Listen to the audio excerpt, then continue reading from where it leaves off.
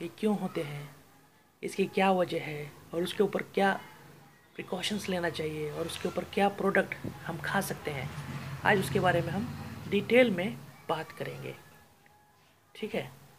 Liver problem basically liver problem में बहुत से, जो है डिसीज़ है।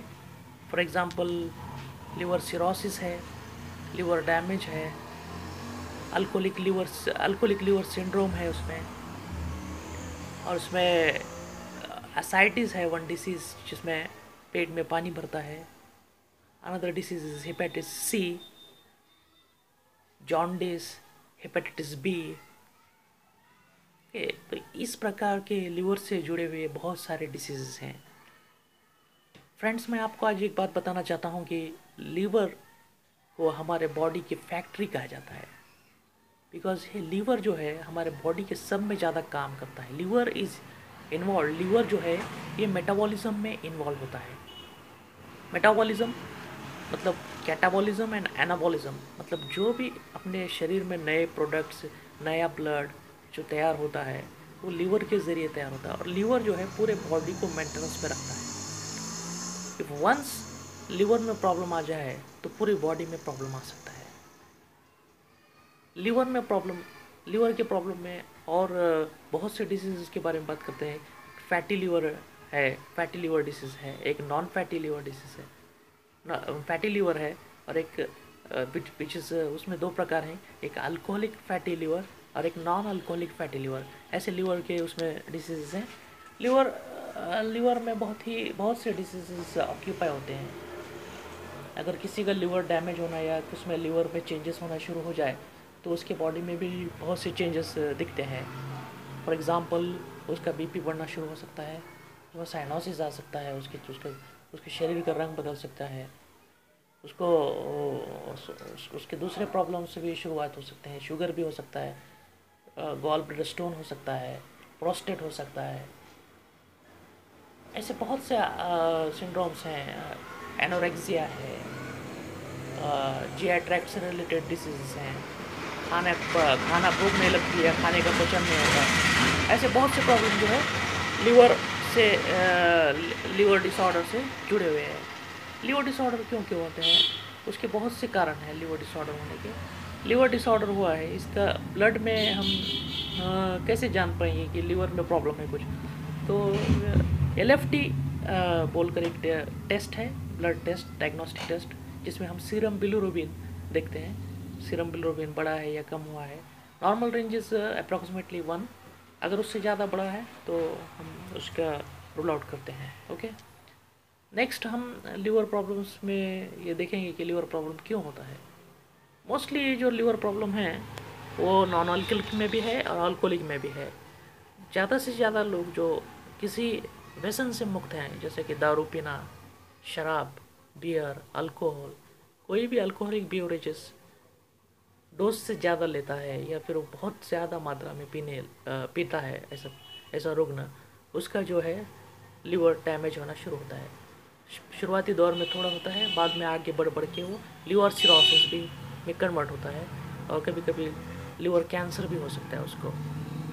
तो alcohol is the most and most important problem. So alcohol पीने वालों, कोई भी पेशेंट है उसने डेफिनेटली इमिडिएटली अल्कोहल पीना बंद करना चाहिए। अगर अल्कोहल वो पीता रहे तो उसके लीवर को प्रॉब्लम हो सकता है, ठीक है?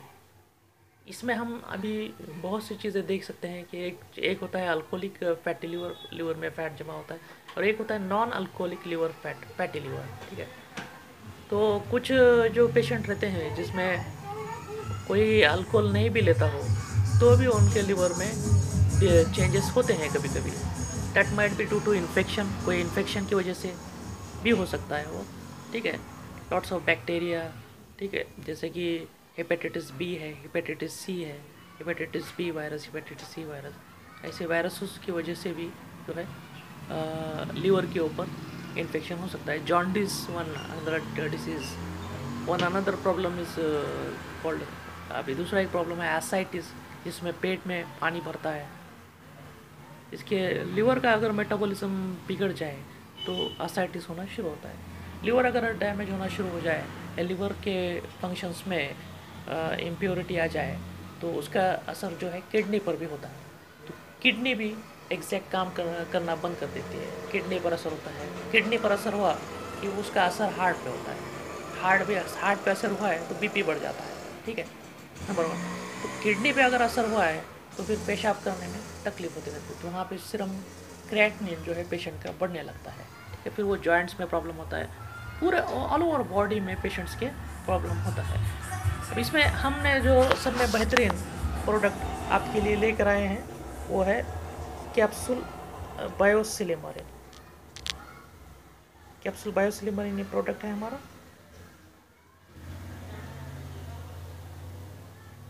one capsule is uh, approximately uh, 140 milligram.